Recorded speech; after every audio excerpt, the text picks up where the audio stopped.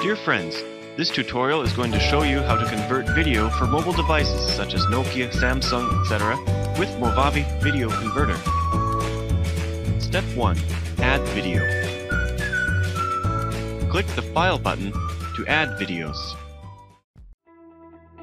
Select and open the video files you wish to convert using Movavi Video Converter.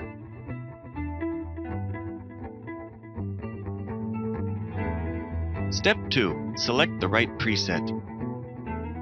Click the button in the Settings panel at the lower part of the Video Converter window, and in the Entry field below the preset selection box, start typing the name of your mobile phone.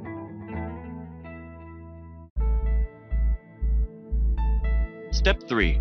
Choose the folder for converted files. Click the Browse button next to the destination list to specify where the program should save your converted files.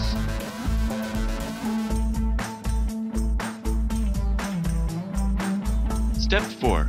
Extra Actions. Now click the Add Extra Actions link. In the opened window, you'll see a number of possible actions. Make your selections, for example, uploading to YouTube or Facebook, or any others. If you don't need an extra action, just click Cancel.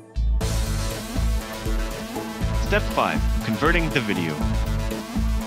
Now click the Convert button and wait a moment for the perfectly converted video. Congratulations! Your video was successfully converted.